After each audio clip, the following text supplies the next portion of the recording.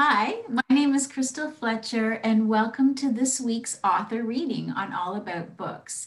If you missed my interview with author Laurie Ray Hill and her book, Paper Stones, I'll put a link down below in the description box so you can watch her interview, and there will also be a link at the end of this video. So Laurie, you'll be reading an excerpt from your book but today, but before you read, can you just give us a little bit of a background as to why you've chosen this particular passage?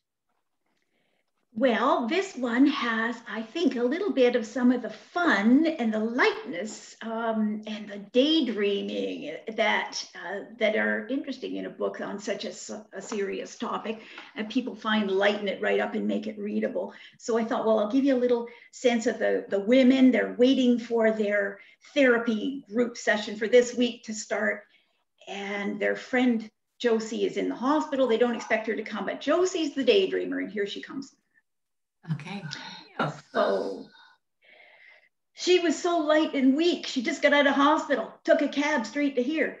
Tammy grabbed Josie's little case. Sally had to know if Josie was warm enough or too warm or she wanted a drink of water. She was propping Josie's bad leg up and asking if she'd had any supper.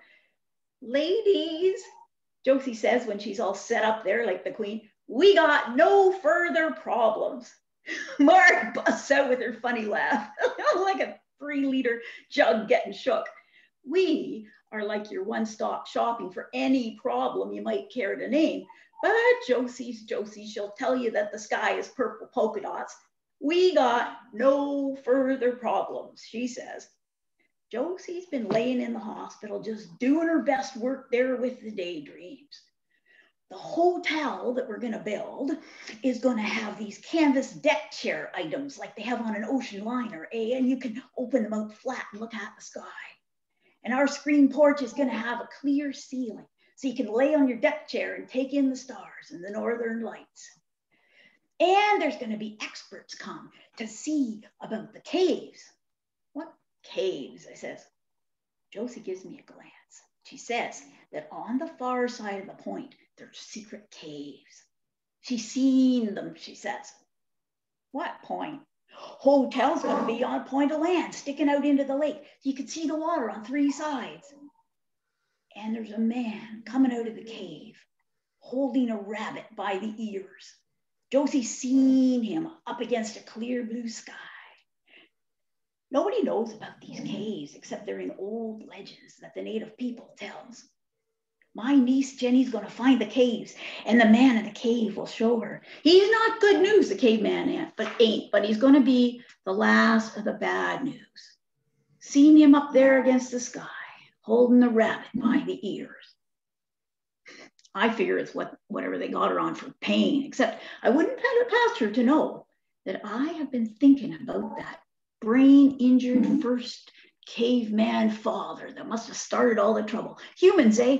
Far as I know, there's nothing else twisted like us. The father robin out in the trees, he don't try to mate with his little birds, does he?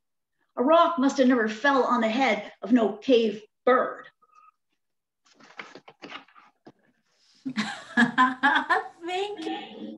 It's so great um, to hear you put to words, like to to hear those women's voices and for all the um, listeners out there, like the voices in this story are all incredible. That's just a small example of why the book is so um, warm and, and, and charming. So thank you so much, Laurie. Thank you. Thank you for all this. This is just great, uh, Crystal. Thanks so much. Thank you. And for everyone else, please come back next week for another author and another interview and another reading. Thank you.